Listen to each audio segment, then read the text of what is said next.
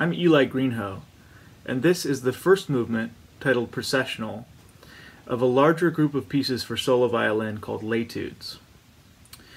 I wanted to write a piece that acted as a gateway for the set as a whole, and use the simplest possible means to create a pensive and engaging musical form.